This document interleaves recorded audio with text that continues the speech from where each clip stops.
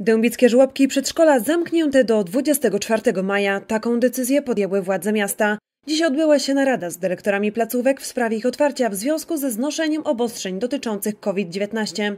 Zgodnie z wprowadzonym drugim etapem odmrażania gospodarki od poniedziałku 4 maja otwarte zostają m.in. hotele i galerie handlowe. Od środy 6 maja natomiast dozwolona jest organizacja opieki nad dziećmi. Jednak kiedy to nastąpi i na jakich zasadach, pozostawiono w kwestii indywidualnej organów prowadzących.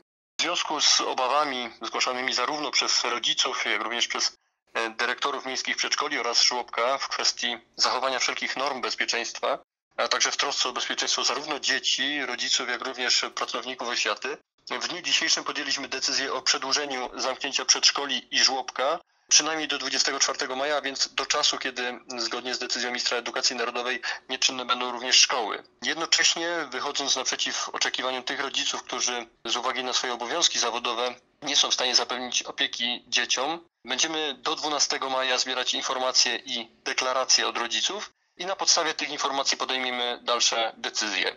Prawdopodobnie będziemy się przygotowywać do uruchomienia jednego przedszkola na terenie miasta, ale w tej kwestii pozwalamy sobie na podjęcie decyzji, myślę, w połowie maja, a więc w momencie, kiedy będziemy mogli zapewnić odpowiednie środki bezpieczeństwa sanitarnego. Rodzice, którzy ze względu na obowiązki zawodowe nie mogą zapewnić opieki swoim dzieciom, mogą składać deklaracje o przyjęcie maluchów do swoich macierzystych żłobków i przedszkoli. Szczegółowe informacje znajdują się na stronach internetowych placówek oraz Urzędu Miasta. A co z instytucjami kultury, bibliotekami i obiektami sportowymi? Kiedy i na jakich zasadach wznowią swoją działalność? O tym poinformujemy już niebawem.